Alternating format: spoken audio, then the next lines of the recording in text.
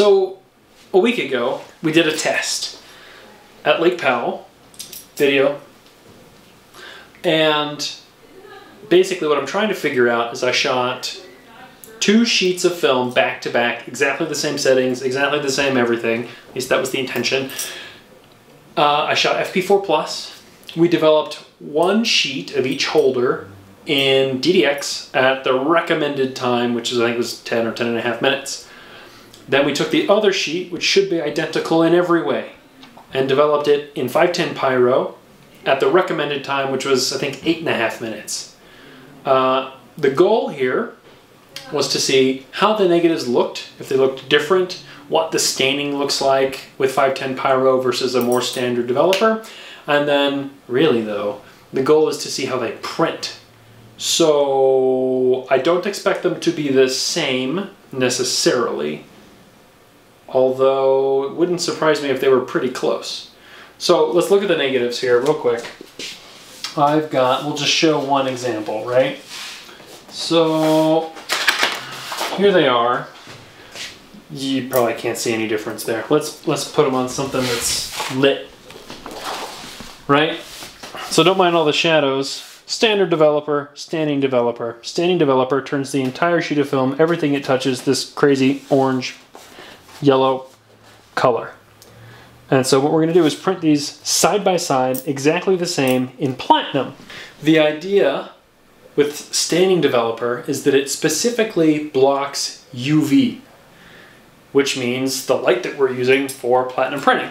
So maybe it'll be higher contrast, maybe it'll be different or better in some way. I've never really played with this, and this felt like the easiest way to see what that looks like. And I happened to get a really cool portrait of my buddy Ken, who manages Lower Antelope Canyon at Ken's Tours while we were in the process. So, uh, we're gonna warm up our bulbs for five minutes because my fluorescents like to be warmed up before they're used. While that is happening, we're gonna mix emulsion for two prints. I'm gonna coat them at the same time using the same brush, using the same chemistry. We're going to expose them at the same time for the same time. At the same time, for the same time. Like I'm doing this the same, as much the same as I possibly can, just to see. Uh, they're pretty thin negatives, to be honest. I could have given myself another stop. You could always give yourself another stop. And I probably... So we followed the manufacturer's directions for 510 Pyro for continuous agi agitation, because we're running ours in a Jobo. Taylor said, and I agree, that that was maybe not enough time, eight minutes. We feel like we could have pushed another stop or more, which is what used to be standard for Pyro. Old Pyro, you shoot it at half box speed, or you push in development. Uh, I shot these both at box speed. It's FP4 Plus. I shot it at 120. I overexposed these sheets. I underexposed the other sheets just to see. So let's see. Um, we'll mix up a couple of emulsions and coat two sheets of paper and see what's going on. Go.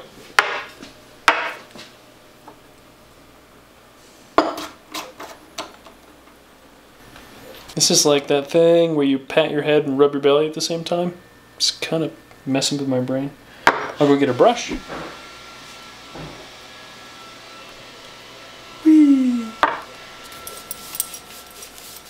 Good. One down, one to go.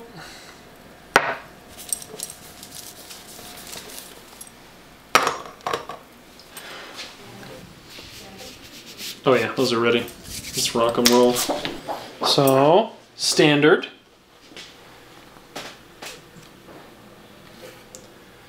So given what that looks like, I would probably call this like four, maybe five minutes. Given what this looks like, I would call this more like three minutes. So let's do four. We'll do four minutes, right down the middle. See what the answer is. I am using a split back contact frame in such a way that I cannot split the back. Uh, we're just gonna rock and roll here at four minutes and see what happens. Five minutes? Four minutes? Four minutes. Five minutes? I don't know. Uh, we'll see. We'll pick a time and we'll make an exposure, but I won't be able to check if it's like right until it's done. Anyway. And timer. Let's just go for it. Five minutes. Please. Boom. Oh, gotta forget our eye protection. Here we go. All right, now we're good. Same thing again. Uh, we're rushed for time, so we're kind of cruising along. Uh, slightly more emulsion because that was a short coat and I didn't feel great about it. Um, those were eight drops a piece, and this is going to be more like 10 drops a piece. So here we go. Five, six, seven, eight, nine, 10. Five, six, seven, eight. And then just two each of this. One, two, one, two. Oh yeah, that's way better. And again, whee!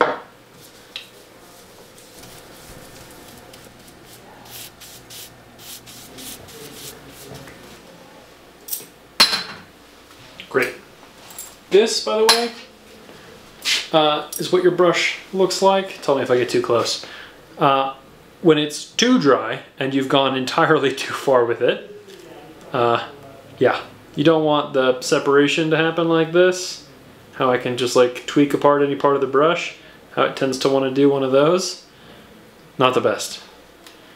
Oh well.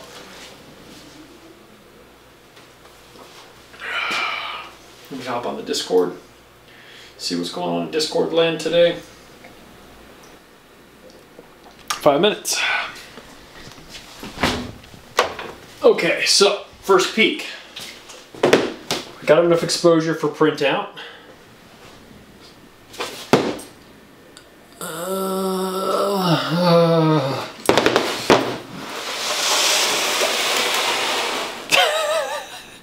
We're gonna leave those for a second. I'm gonna go set up my development tray, so come with.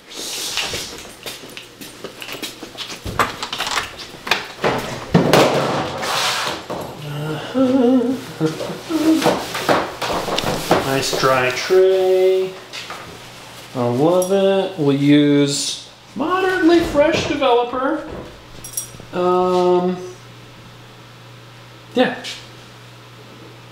Just rock and roll. Oh, wow. Okay, this is interesting. And honestly, mostly what I expected to see. Um, this is going to be too dark. This is the pyro because it really wants a three minute uh, exposure instead of five. And this is the DDX. So right away you can tell there's a drastic difference in how these are going to behave.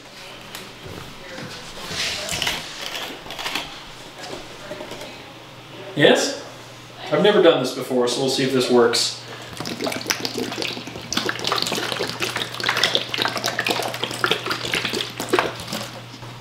Now, this negative had drastically more density, so it looks a lot better, kind of a lot more like it's supposed to. This is overexposed in terms of the print. The negative itself is thin, so underexposed. Hmm. This actually looks flatter to me. Like the contrast from here to here versus here to here. And we may bias towards the 510 sheet, which again is thinner than we sort of expect and or want it to be. And see. This is gonna be more like, I think, two and a half minutes. Because this sheet that I have of Lone Rock, which is usually like water and then this big dumb rock sticking out of the water, now it's all just land because the lake is drying up, is thin.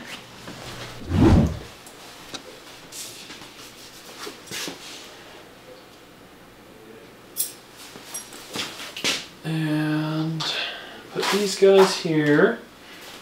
So here's the two sheets. Incredibly short exposure time for a platinum print because you can see straight through the whole damn thing. Nowhere is there enough shadow to block.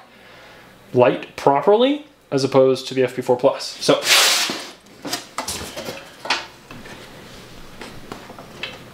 Wow, that's so drastically different.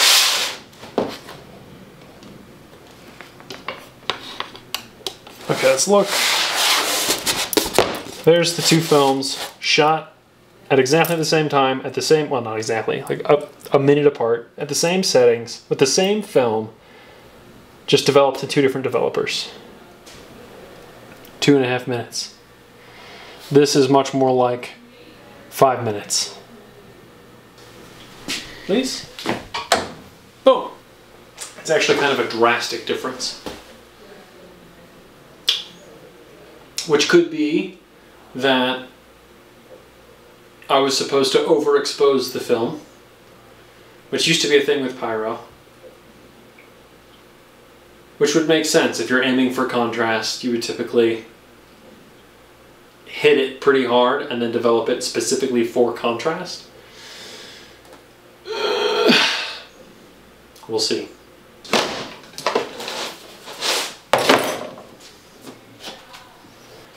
Let's just see. Let's just see. I'm gonna drop these into the tray this time, make my life a little bit easier. Pyro. And not. Hello. Alright. Um, and you the effect from this being in focus and this being in focus, but not this was intended. But even with close to what I would say a proper exposure, this is flat and not great. It's the opposite result of what I expected. I expected higher contrast, much more beautiful, whatever, even from a slightly thin negative. And I'm not getting that. I'm getting flatter prints from 510, which is possibly could hold more detail, but I don't know. Interesting. It's very strange. I'm going to clear these out real quick and then we'll just force dry them and we'll take a look at them dry, see what they actually look like because you can't judge a print wet. It's not allowed. Every time you do it, you meet with suffering. You guys like my washing technique? It's like washing clothes, but they're prints. Okay, that was a great wash. Let's go dry these bad boys down. Okay, so let's just let's just see about all this.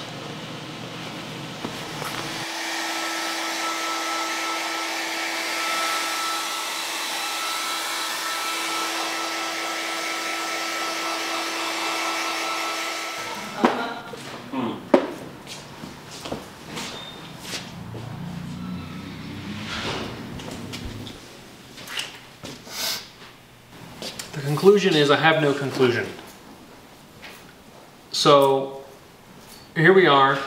We've got the DDX side and the Pyro side.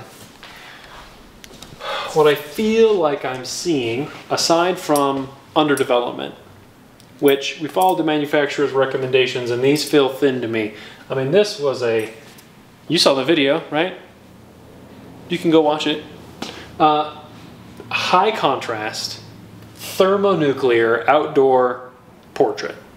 Platinum should help bring my histogram in a little bit so that I can actually see what's going on. What I feel like Pyro is doing is increasing that effect, which doesn't feel right to me for whatever reason.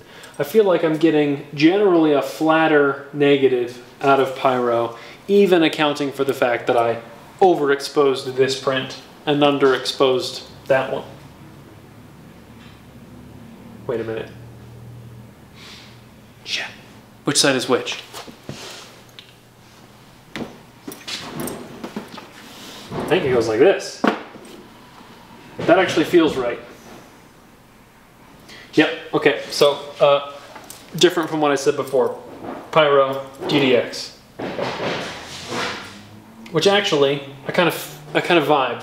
Skies are darker, It's, uh, I mean, it's straight up darker, like all the way around. We might have to go check the footage and see if when I shot the two sheets of just the landscape, if there was a cloud in the foreground or what was going on here. I'm not super sure. Um, I feel like it was just ridiculously bright the entire half hour we were out here shooting these. And if that's the case, I super don't understand what's happening here. Like, look at the difference in the foreground between these two sheets taken uh, 30 seconds apart. That that should not be as drastic as that is. You know what I mean? Further testing is required if I want to use 510 Pyro. Why would I want to do that? Well, it's great for stand developing, which DDX is probably less great for. And it's reasonably economical. Uh, the two developers for a bottle is about the same price, but for Pyro, you're going to get double the volume if you process it standard 1 to 100. And for and with Pyro, you can take that 1 to 100 and make it 1 to 200. Like you can you can dilute the developer down and increase your development times if you need to. It also takes up like no room. The bottles are tiny. So on the one hand, I'm here for it. I understand what's going on. On the other hand, I'm not getting a high enough contrast result that I would that I kind of expected somehow out of a UV staining developer. And that's consistent with what I've seen with all the versions of PyroCat developers over time. Staining developers have been lower contrast in my experience, printing with my system and my chemistry. Your results may vary. What I think I need to do now is either adjust the way I treat the film, I rate the film. So instead of shooting this at 120, maybe shoot it at more like 80, or increase my development times to hopefully get a little bit more snap out of the process. Because even if I brighten up this print a little bit, I feel like this is just kind of muddy and weird, whereas I'm getting a little bit more definition out of the DDX, like differences in tones from bush to bush to bush to bush to bush to grass, whereas in Pyro, it kind of just blaws together in one giant muddy mess. Further testing is required if you're into that sort of thing. I will probably keep playing with this developer as I have time and excess film. Uh, I hate throwing away another six or eight bucks a sheet and not getting a good result. But at the same time, I want to know what this developer is for and how I can use it. If I can use it to pull contrast out of a scene and shrink in my histogram, just crush that in, reduce the contrast of the image, and do that intentionally, sweet. That's just not what I expected, I guess, you know? Anyway, that's my little 510 pyro test. If you want to try it, we sell it. Uh, and if you want to just keep doing whatever the manufacturer recommends to all your film all the time and not have to worry about it, that's cool too. I'm not usually the testing guy, I'm just curious about this. Anyway, see you in the next one.